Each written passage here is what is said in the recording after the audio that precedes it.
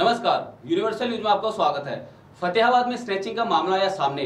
लाखों रुपयों के गहनों से भरा बैग छीनकर भागे लुटेरे। बैंक लॉकर से गहने निकाल घर ले जा रहा था दंपति।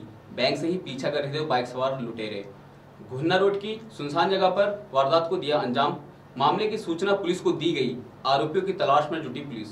बाइक सवार स्नेचरों ने एक बार फिर से बड़ी वारदात को अंजाम देकर शहर में सनसनी मचा दी।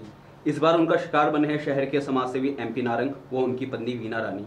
बैंक से घर लौटे नारंग दंपति से बाइक सवार बदमाशों ने फाइव एकड़ रिसोर्ट के पास सुनसान सड़क का फ़ायदा उठाकर लाखों रुपये कीमती सोने के जहरों से भरा बैग छीन लिया। हुडा चौकी पुलिस ने एमपी नारंग की शिकायत पर दो अज्ञात बदमाशों के खिलाफ मामला दर्ज कर तलाश शुरू कर दी है। पुलिस को दी शिकायत में महेंद्रपाल नारंग ने बताया कि आगामी एक दो दिन में परिवार में एक समारोह आयोजित होना था।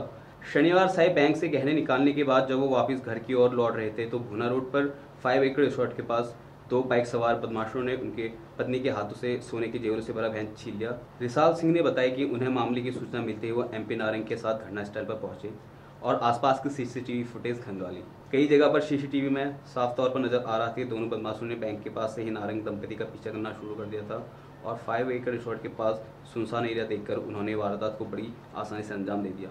सीसीटीवी फुटेज के मुताबिक दो बाइक सवारों में से एक का चेहरा दिख रहा है क्योंकि बाइक चला रहा युवक हेलमेट डाले हुए है।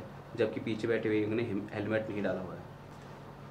यूनिवर्सल न्यूज़ के लिए फतेहाबाद से सुनील कुमार की रिपोर्ट।